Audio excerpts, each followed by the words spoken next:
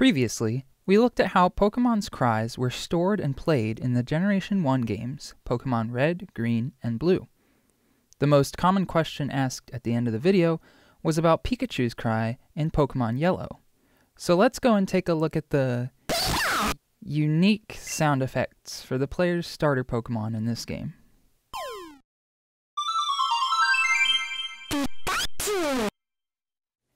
For those of you who don't know what we're about to get ourselves into, let me explain a bit. Pokemon Yellow version, called Pocket Monsters Pikachu in Japan, was released as the final installment of the first generation games. It included an updated storyline that paralleled the Pokemon anime airing on television at the time. One of the main differences being that the player was forced to start with a Pikachu, just like Ash in the show. This Pikachu was special and that it was the only Pokemon to have a friendship system implemented. It also normally couldn't be evolved into a Raichu. But the most noticeable difference is that its cry is different than the other Pikachu in the game. Your Pikachu had 42 different sounds it could play. The format of these sounds was much different than any of the other Pokemon Cry sound effects. To see just how different, we can analyze the waveform of the sound. With this, we can figure out just how the sounds were compressed from sounding something like this Pikachu! to this. Pikachu! At the top is the original sound, and on the bottom is the sound produced by the Game Boy. From this point of view, the sound looks just like a solid rectangle, but that's just because we're zoomed too far out. But it already has a different shape, it just doesn't look like a stereotypical waveform. Let's zoom in a bit. As we get a better picture, it's starting to look like the sound effect is very similar to a plain old pulse waveform, just without any pattern to it. It turns out that this sound effect has a very low sample bit depth, the lowest possible in fact. A sample's bit depth determines how many different values it can take on. For example, this original sound has a bit depth of 32 bits per sample. This means each sample is represented by a 32 bit number. The total number of possible values each sample could take on is 2 to the power 32, or about 4.29 billion values. This wide range allows for a higher resolution sound, and it sounds clearer. Pikachu! As I drop the bit depth lower and lower, the sound becomes more noisy and scratchy. Pikachu! Pikachu! Pikachu! When we go all the way down to 1 bit per sample, it means that every sample can either be a 0 or a 1, and nothing in between. Pikachu! Pikachu! Pikachu! If we were to draw an analog to graphics, this would be like only allowing each pixel to be black or white. Sure, you can still make out an image like this, but the quality will be low and details will be lacking. Before I explain how the sounds were played, I'd like to show two ways in which they weren't. These will reflect my train of thought, how I thought it was done before actually looking into it. The first thing I thought of was just using the wave channel normally. The wave channel isn't used for other Pokemon's cries, but it could be used in this case. This channel also only has a buffer for 32 samples that are normally output in sequence repeatedly to produce a custom shaped waveform.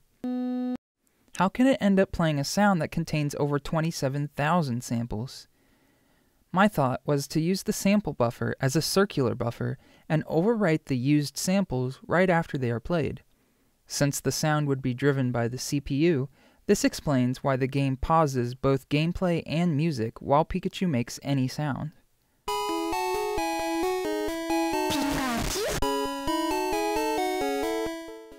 The processor would be too busy feeding in sound data to do anything else. However, there was one thing that didn't make sense with this explanation, and that is the sound quality. The wave channel has a sample bit depth of 4, so if we reduce the original sound to this quality, it should sound like this. Pikachu! But clearly, it doesn't sound as good as this. At this point, I thought maybe the CPU isn't fast enough to pipe in all of the samples, so it only copies over every other one, or something similar. Well, sound doesn't really work like that, and if you do something like this, very weird high pitched artifacts start appearing. So that can't be it. It turns out that this method is impossible anyway, since the wavetable is completely inaccessible while the wave channel is playing. That was my first guess, but it was before I saw this odd rectangular waveform. The pulse like structure made me think that either the pulse or noise channels were actually responsible for the sounds, and that the frequency was modulated in just the perfect way to recreate the sound. Well, only the first pulse channel can smoothly change the frequency with its sweeping options, but even then it was limited to linear sweeping. The noise channel can output a pulse like wave with varying frequencies, but due to the vast range of frequencies it could produce, the ability to fine tune the frequency to exactly what it needed would be impossible. Not to mention the fact that you can't control exactly when the output of the noise channel is high or low.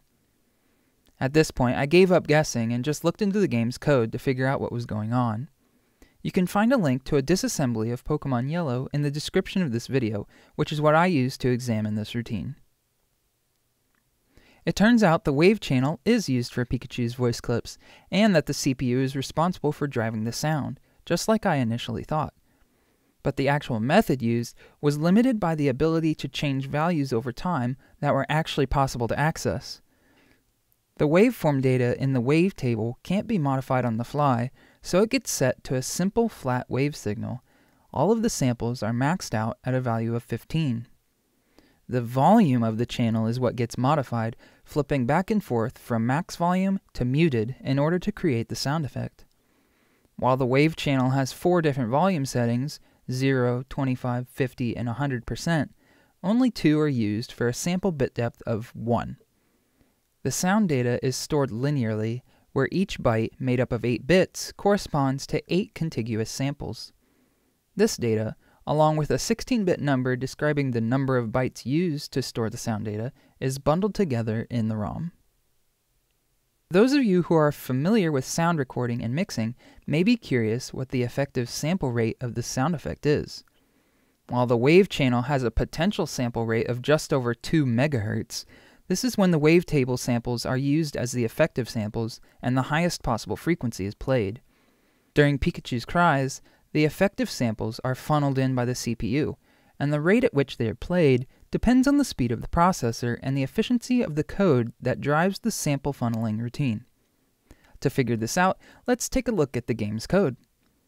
Just a fair warning, things are about to get pretty complicated now that we're looking directly at assembly code. This routine is run whenever Pikachu makes a sound, after it is determined which sound he'll make.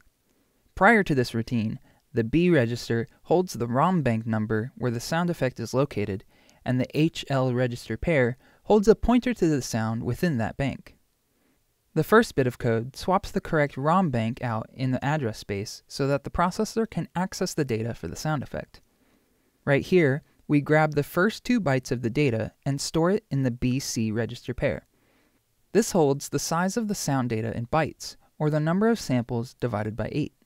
Then we enter a loop that runs for every byte in the data stream one after the other. The current byte we are looking at gets stored in the D register.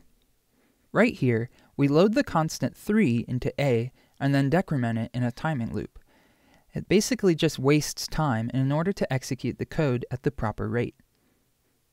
There are two subroutines that are used here, one to load the current sample, set the volume of the wave channel, and one to play it for a bit before moving on.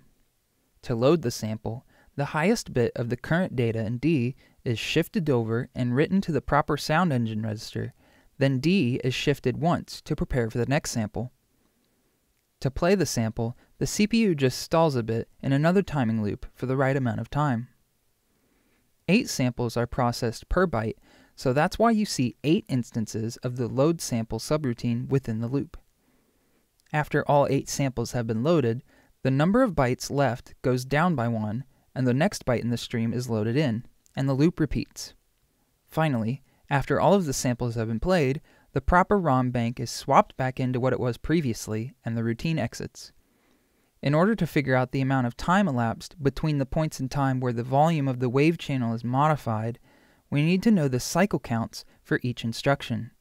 The cycle count just lets us know how many CPU clock pulses are needed in order to completely execute each instruction.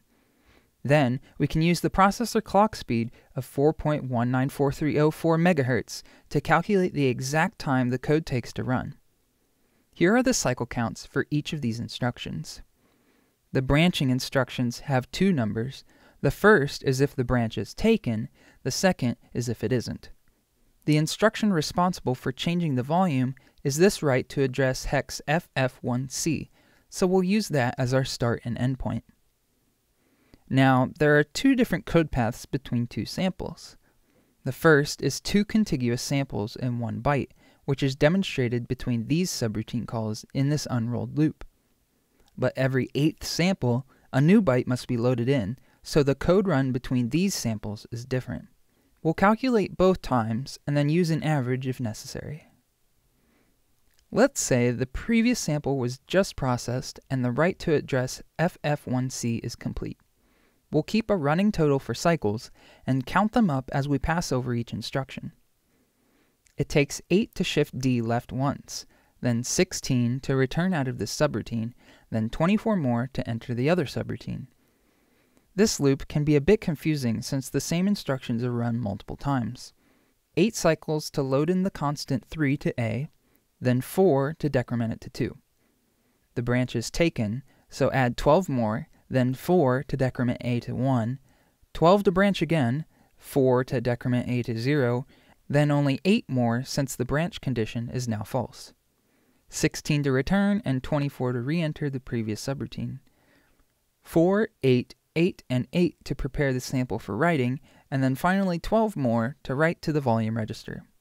This brings our final total to 180 cycles. Now for good measure, let's do it again, but suppose we are in that last load subroutine call. 8 and 16, like before, but now we continue from this point. 8 to decrement the length counter, then plus 4 and 4 to check if we reached the end of the sound. Assuming we still have more samples to go, it takes 12 cycles to branch back up to the top of the main loop. Then 8 and 4 more cycles to load in the next byte holding 8 more samples. There's another timing loop here that is actually identical to the play sample routine. So 8, 4, 12, 4, 12, 4, and 8 cycles until we are past the branch instruction. 24 more cycles to enter the loading subroutine, then 4, 8, 8, 8, and finally 12 to wrap everything up. Oh look, 180 cycles just like before. This is actually pretty impressive, since this shows that the developers put in the effort to make sure that all of the samples played at a constant rate, without fluctuating every time a new chunk of samples was loaded. This is actually the reason why there is this timing loop that is outside of the play sample subroutine. It takes 24 cycles to call a routine, and 16 more to return back. These 40 cycles would have brought the total to 220, which would probably be noticeable and make the sound effect sound even worse. Anyway, we found that there are 180 CPU cycles between each sample, and we know the CPU's clock speed, so we can find out the sample rate.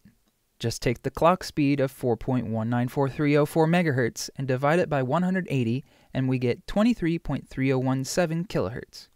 This isn't too shabby for hardware that isn't designed for driving audio. It's nowhere near the crazy potential of 2000 kHz, but it is high enough to produce a decent sound. Now, is it possible to make Pikachu sound any better in practice? Of course, but the higher the quality of the sound, the more space will be needed to store the sound data. A 1 second sound clip at 23 kHz and 1 bit depth will require only about 2900 bytes, but at 48 kHz and 8 bits per sample, it would require 48,000. The low sample rate and bit depth was chosen in the final release of the game as a compromise between quality and data usage. But if we put all of the effort into quality, how good can we make it sound? We are limited by the ROM bank size of 16,384 bytes of space and the CPU processor speed of just under 4.2 MHz. The Game Boy Color can actually double the speed of the CPU, but let's just stick with the original Game Boy's processor speed. Let's see what we can do. First, can we improve the bit depth? Yes. The wave channel allows for four different volume settings, so we can at least double the bit depth to 2 bits per sample. This will double the size of the sound data, but will greatly improve the quality of the sound.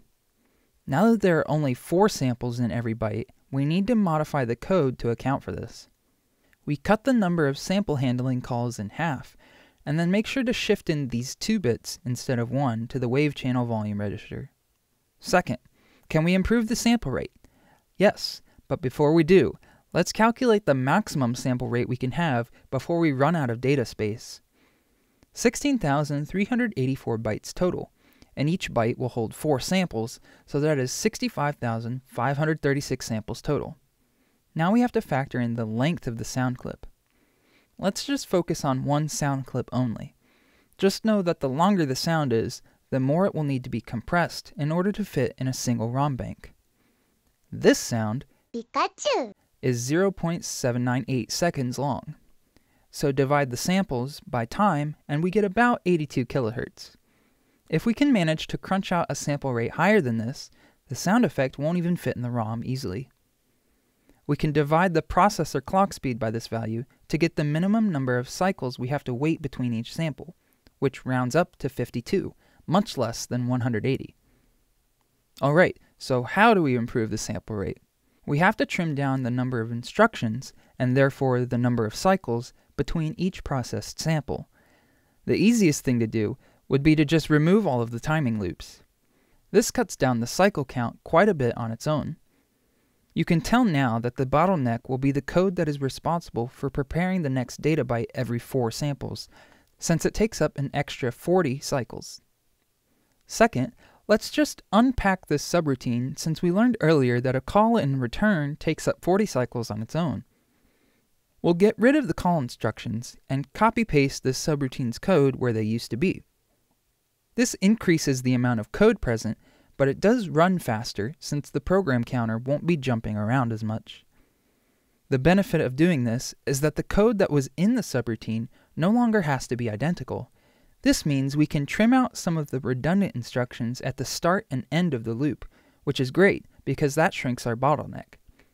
We can move this decrement instruction that keeps track of the length of the sound somewhere else, since it doesn't necessarily need to be at the end of the loop.